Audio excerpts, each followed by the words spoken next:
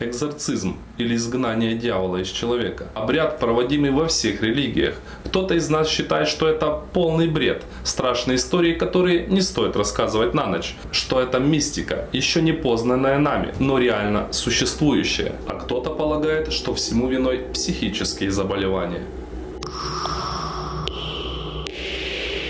Привет всем! Меня зовут Корецкий Сергей, и это «За факты». По мнению официальной науки, одержимость, не связанная с чем-либо сверхъестественным, является не более чем психическим расстройством, называемым в медицине какодемономанией. Тем не менее, христианство и некоторые другие религии все же признают бесноватость состоянием, в котором человек полностью подчинен каким-либо сущностям.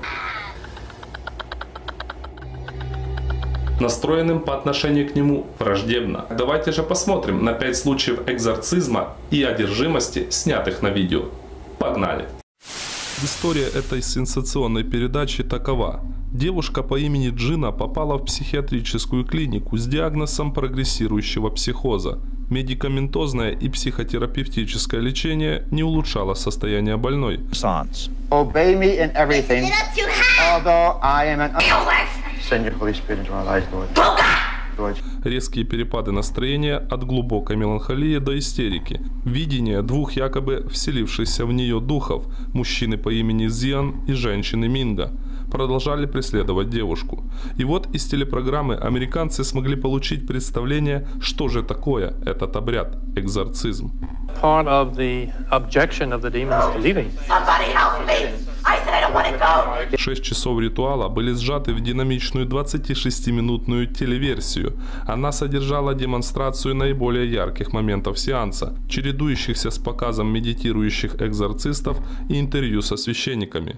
Гримасы девушки, истерический хохот и рыдания свидетельствовали, что она нездорова психически. От идущего как будто из подземелья голоса зрителям становилось не по себе. More Or as a watch of the night? Но он не смущал двух святых отцов, взывающих к хозяину всего земного зла, учителю Ереси, с требованием освободить Джину. Закончился телевизионный сеанс изгнания дьявола следующей сценой. Привязанная к креслу девушка блаженно улыбается, к ней тянется рука экзорциста с распятием. Звучит вкрадчивый голос святого отца. «Поцелуй крест Божий, Джина. Мама отведет тебя домой. Расслабься». Take you home. Но исцелить Джину так и не удалось. Она получила временное облегчение, но вскоре ее снова вернули в психиатрическую клинику.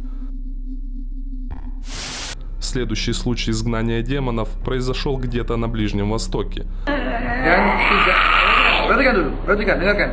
По поводу этого видео почти нет никаких данных, но есть информация, что женщина одержима джинном. Джинны в мусульманской мифологии духи, часто злые, созданные из бездымного огня. В видео экзорцист спрашивает демона, кто он, на что тот отвечает, что его зовут Изу.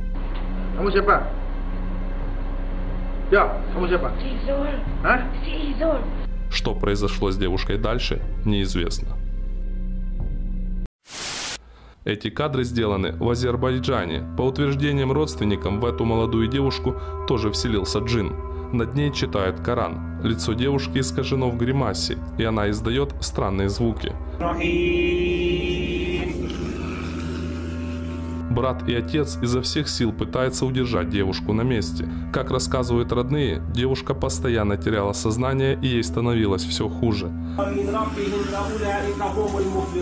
Такое состояние у девушки длилось 10 лет, и никто не мог понять, что с ней, даже врачи. После обряда экзорцизма ей стало легче, и девушка вернулась к нормальной жизни. Возможно, следующее видео многие уже видели, но я просто не мог не включить его в эту подборку, так как то, что на нем снято, выглядит поистине жутко. É, assim nosso В одну из больниц Рио, Бразилия, доставили мужчину, с зияющей раной на лице после выстрела. Однако он больше шокировал медперсонал тем, что стал вести себя как одержимый сатаной.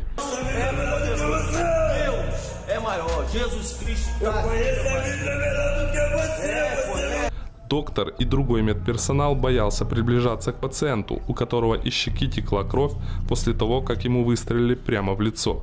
Он постоянно двигался в весьма необычной для человека позе, кричал и кидался на присутствующих, а когда его спросили, кто он, тот ответил «Люцифер».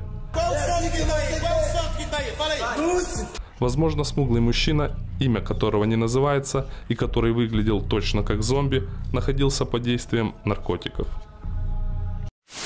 Ну и, пожалуй, самый известный случай экзорцизма – Аннализа Михель, 1976 год. Хоть в этом случае нет видеозаписи, зато осталось множество фото и аудиозаписей. Аннализа известна тем, что по мотивам ее жизни был создан фильм «Шесть демонов Эмили». Девушка страдала нервным заболеванием с 16 лет до самой смерти в 1976 году, причиной которой, по крайней мере косвенной, считается ритуал по изгнанию дьявола. Во время их проведения Анализа разговаривала на нескольких языках и разными голосами одновременно.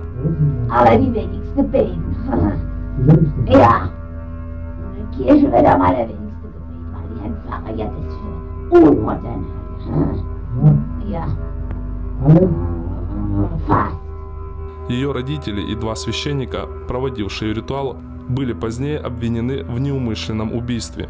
Изгнание проводилось пастором Арнольдом Рейнсом под идейным руководством епископа Йозефа Штангля. Ритуал закончился смертью девушки. «Очистившаяся от сатанистской силы душа Аннелизы», сказал пастор убитым горем родителям покойной, вознеслась к престолу Всевышнего. Очень многие люди считают, что она на самом деле была одержима дьяволом. Целом, одержимость – это реально существующая проблема, а не средневековая легенда. Но вот действительно ли в людей вселяются демоны, или это всего лишь психические заболевания? Решать вам. На этом у меня все. Обязательно пишите в комментариях свое мнение по этому поводу. И если видео понравилось, ставим лайк. Если нет, дизлайк. Но в любом случае подписываемся на канал. Берегите себя и своих близких. Baka. The Lord has entrusted the souls of the redeemed to be led into heaven. Pray therefore the God of peace, to crush Satan beneath our feet,